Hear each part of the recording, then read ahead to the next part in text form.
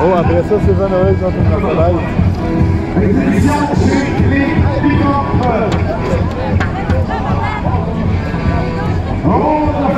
na